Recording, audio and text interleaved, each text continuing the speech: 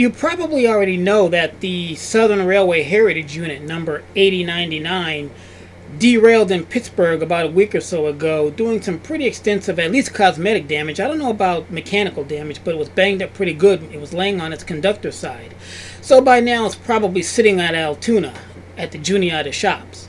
This video is from last year, July 9, 2020 to be exact, when the Southern Railway Heritage Unit came down the line on train 11Z, having come up the day before as a DPU on train 14R.